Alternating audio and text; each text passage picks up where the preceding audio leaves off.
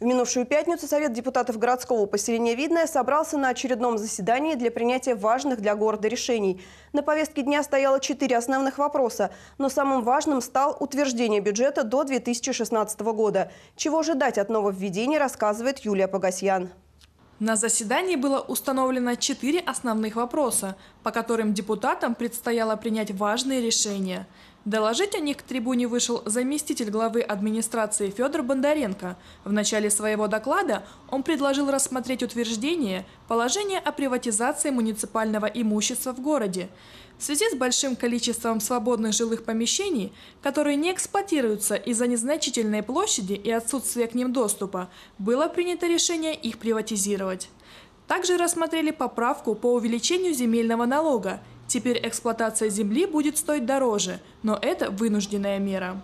Всем э, муниципальным образованиям рекомендовано приблизиться максимально тем ставкам, которые сегодня установлены федеральным законом, а именно 0,3% в отношении участков, относящихся к категории садовых товариществ, гаражей там, ну и так далее.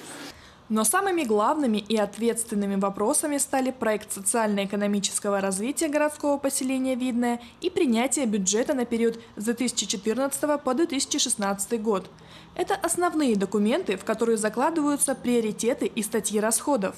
Сейчас, когда бюджет Ленинского района сокращен, большое количество социально значимых объектов передано на финансирование городу.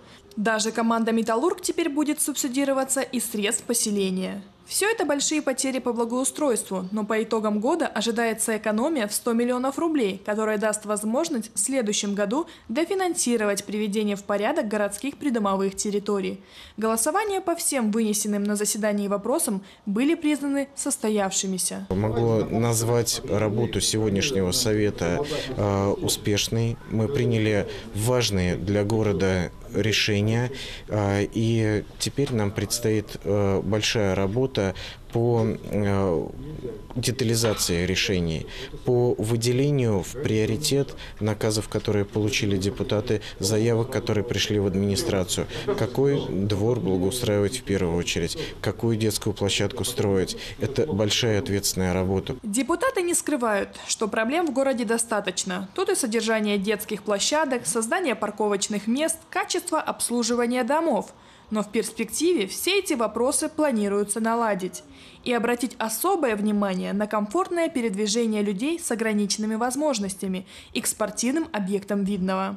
Юлия Погосян и Адамия Наталья Буслаева. Видное ТВ.